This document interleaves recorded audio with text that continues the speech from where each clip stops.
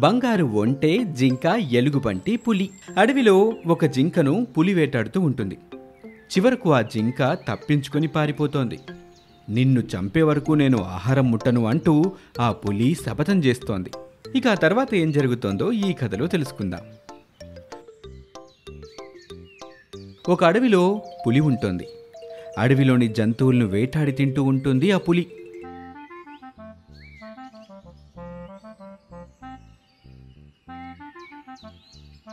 కంటికి కనిపించిన జంతువును వదిలిపెట్టకుండా వేటాడి చంపుతోంది.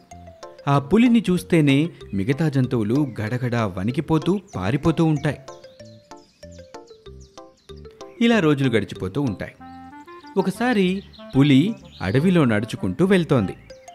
ఈ రోజేంటి? ఒక్క జంతువు కూడా కనిపించటం లేదు. ఎటు వెళ్ళి ఉంటాయి? మంచి జింక పిల్ల దొరికితే బాగుండు. అని అనుకుంటూ ముందుకు వెళ్తూ ఉంటుంది.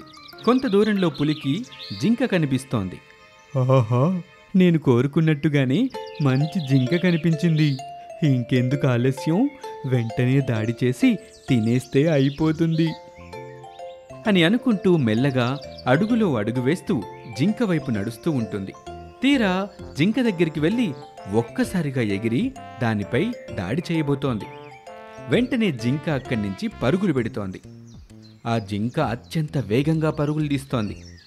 దాని వెనకాలే పులి కూడా వేగంగా పరుగుదీస్తూ ఉంటుంది. ఇలా పులి ఎంత వేగంగా పరిగెత్తినా ఆ జింకను పట్టుకోలేకపోతోంది. అలసిపోయిన జింక ఒక చెట్టు చాటుకు దాక్కుని ఉంటుంది. జింకను వెతుకుతూ పులి ఆ చెట్టు సమీపంలోకి వస్తోంది. అక్కడే చెట్టు మీద ఉన్న కోతి ఇలా అంటోంది.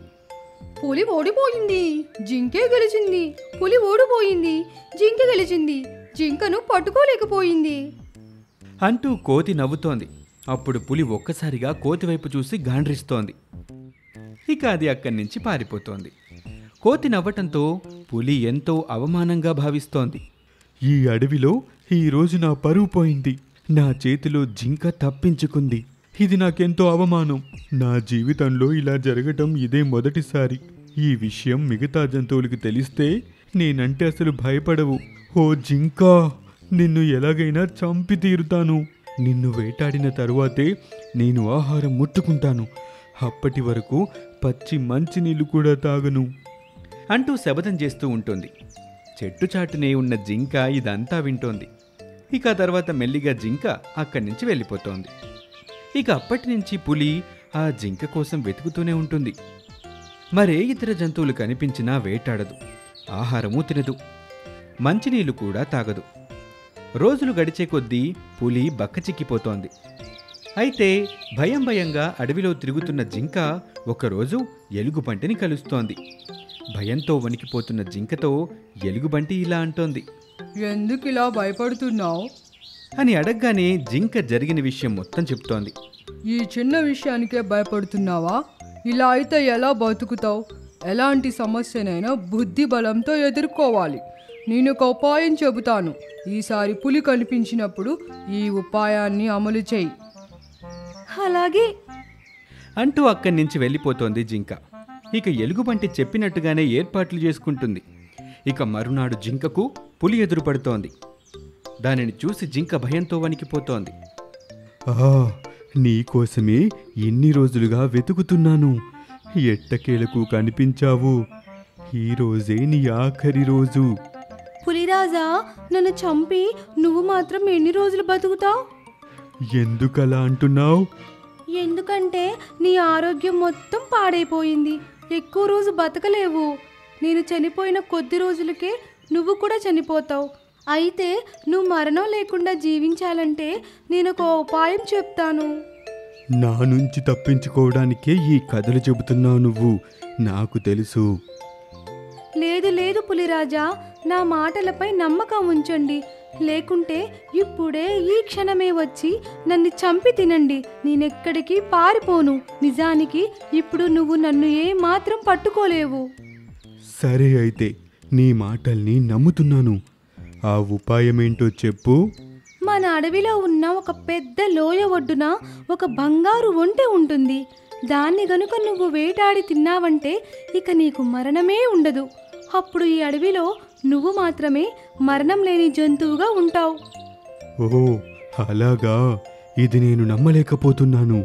వెంటనే అక్కడికి వెళ్ళి ఆ బంగారు ఒంటెను వేటాడి తింటాను. తొందరగా పోదాం పదా. అని అనగానే ముందు జింక వెనుక పులి నడుచుకుంటూ వెళ్తాయి. ఇలా చాలా దూరం వెళ్ళిన తర్వాత పెద్ద లోయ ఒడ్డున బంగారు ఒంటె కనిపిస్తోంది. అయితే అది నిజానికి ఒరిజినల్ ఒంటె కాదు బొమ్మ ఒంటె మాత్రమే. జింక ఏర్పాటు చేసిన బొమ్మ ఒంటె అది. పులిరాజా అదిగో బంగారపు ఒంటే. మీరు చాలా వేగంగా పరిగెత్తి దానిపై దాడి చేయండి. అలాగే ఈ రోజు నుంచి నాకు కొత్త జన్మ వస్తుంది. అంటూ వేగంగా గాలిలో ఎగిరి ఆ బొమ్మ వంటపై దాడి చేస్తోంది.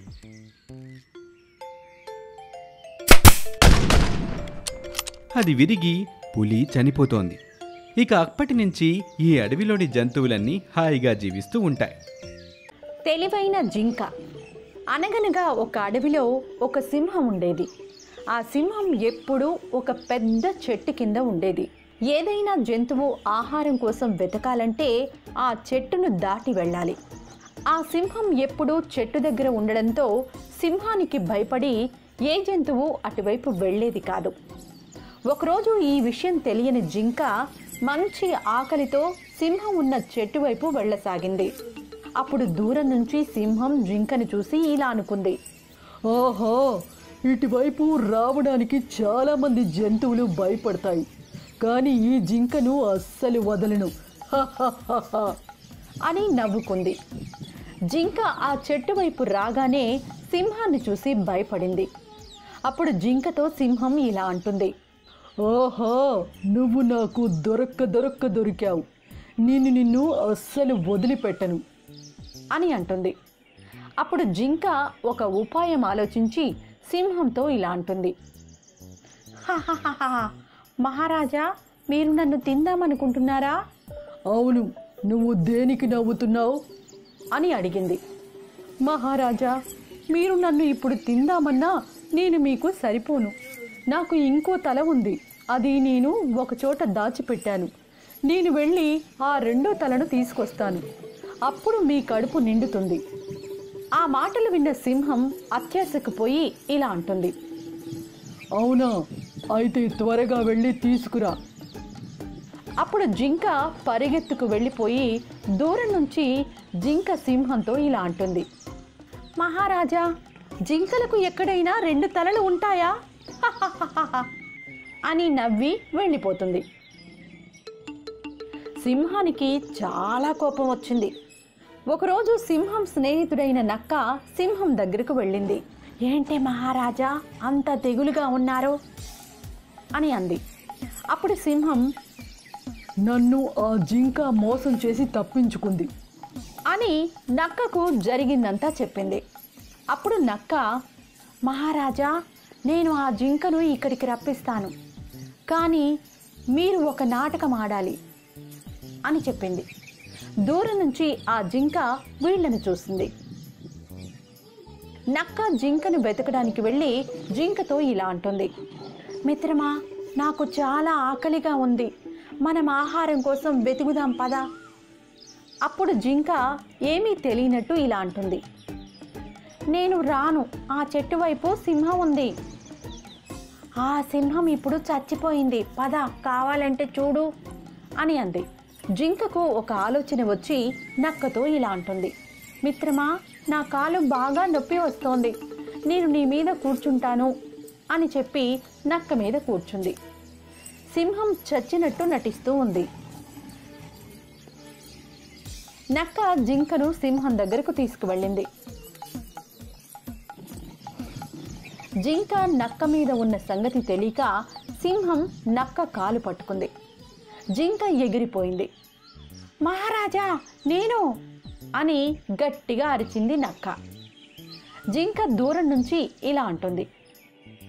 మీరు నా కోసం ఒక పన్నాగం పొందారు అని నాకు తెలుసు అని వెళ్ళిపోయింది. నీతి ఎలాంటి సమయంలోనైనా తెలివితేటలతో ప్రమాదం నుంచి తప్పించుకోవచ్చు. రెండు సింహాల కథ. అనగనగా ఒక అడవిలో చాలా జంతువులు కలిసిమెలిసి జీవిస్తుండేవి. అదే అడవికి రాజైన సింహం తన కంటికి గాయం కారణంగా గుహ దగ్గరే కూర్చుంటుంది. అప్పుడు సింహంకు మంత్రి అయిన నక్క సింహం దగ్గరకు వచ్చింది అప్పుడు సింహం నక్కతో ఇలా అంటుంది. వచ్చావా నక్క బావా నేను నిన్న వేటకు వెళ్ళినప్పుడు నాకు ఒక చెట్టు అడ్డొచ్చి నా కంటికి గాయమైంది. ప్రస్తుతం నేను వేటాడలేను. మన అడవిలో జంతువులను నాకు ఆహారంగా రమ్మని చెప్పు అని నక్కతోటి మిగతా జంతువులకి కబురు పంపించింది. అప్పుడు నక్క వెళ్ళి మిగతా జంతువులతో ఇలా అంటుంది. మహారాజా సింహం రేపటి నుంచి మిమ్మల్ని ఒక్కొక్కరిగా ఆహారంగా రమ్మన్నారు అని చెప్పింది. అప్పుడు జంతువులన్నీ ఆలోచనలో పడ్డాయి. ఒకరోజు కుందేలు ఆహారం కోసం పక్క అడవికి వెళ్ళింది. అప్పుడే కుందేలు వేరొక సింహం కంటబడింది. ఆ కుందేలును పట్టుకుంటుంది. అప్పుడు కుందేలు భయపడుతూ ఇలా అంటుంది. నన్ను వదిలేయండి మీకు పుణ్యం ఉంటుంది అప్పుడు సింహం ఇలా అంటుంది. నిన్ను పట్టుకుంది వదలటానికా? ఆహా. అప్పుడు కుందేలు తన మనసులో ఇలా అనుకుంటుంది. ఇప్పుడు ఈ సింహానికి మా అడవిలో గాయపడ్డ సింహానికి ఎలాగైనా గొడవ పెట్టాలి అనుకుని ఇలా అంటుంది. మా అడవిలో సింహరాజు చాలా మంచివారు. తన కంటికి గాయమైనా మమ్మల్ని జాగ్రత్తగా చూసుకుంటారు. మీకు ధైర్యం ఉంటే మా అడవిలో రాజుని ఎదిరించండి అని అంటుంది. అప్పుడు ఈ అడవిలో సింహం పక్క అడవికి వెళ్ళి గాయపడ్డ సింహంతో ఇలా అంటుంది. నువ్వేనా ఈ అడవికి రాజువి? పైగా నీ కంటికి గాయమైంది. ఈ రోజు నుంచి నేనే ఈ అడవికి రాజుని. అప్పుడు గాయపడ్డ సింహం ఇలా అంటుంది. నా అడవికొచ్చి నువ్వే రాజువైపోతావా? అని నేనే రాజు నేనే రాజు అని వాగ్వాదం చేసుకుంటాయి.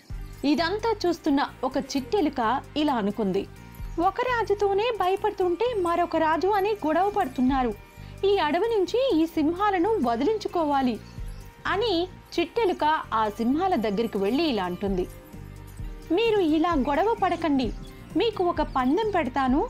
మీలో ఎవరు నన్ను మొదట పట్టుకుంటారో వాళ్ళే ఈ అడవికి రాజు. అప్పుడు ఆ రెండు సింహాలు పందానికి ఒప్పుకుంటాయి. చిట్టెలుక వెనుక ఆ రెండు సింహాలు పరిగెడుతుంటాయి. ఎలుక మాత్రం ఒక పెద్ద గొయ్యి వైపు పరిగెట్టసాగింది. ఎలుక గొయ్యి దగ్గరికి వచ్చేసరికి పక్కకు తప్పుకుంది. చూసుకోకుండా ఆ పెద్ద గొయ్యిలో పడిపోతాయి.